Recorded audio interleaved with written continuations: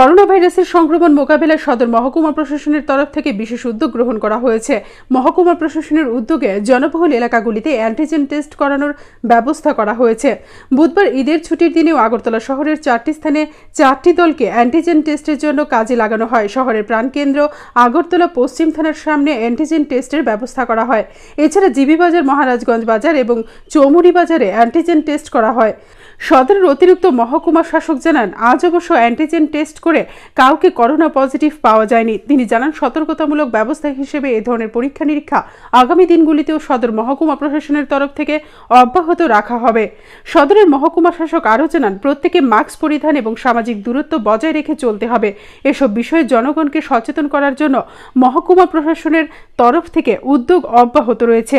যারা প্রশাসনের নির্দেশ অমান্য করছে, তাদেরকে আর্থিক জরিমানা করা হচ্ছে বলেও জানিয়েছেন সদরের অতিরিক্ত মহকুমা শাসক। আমরা তো এটা, আমরা কোভিড নাইন্টিনের পরিস্থিতিতে শুরু থেকেই আমরা মাস্ক এনফোর্সমেন্ট বা সোশ্যাল ডিস্টেন্স মেনটেনিংয়ের জন্য আমরা এনফোর্সমেন্ট করে আসছি, যাতে কোভিড অ্যাপ্রোপ্রিয়েট বিহেভিয়ার সকলে মানে পালন করেন সেটা আমরা করে আসছি। তো এখানে আমরা এখনও আজকেও আমাদের সদর মহকুমার চারটা টিম আমাদের জি বাজারে West PS MG Bazar electronic বাজারে আমাদের এনফোর্সমেন্ট চলছে।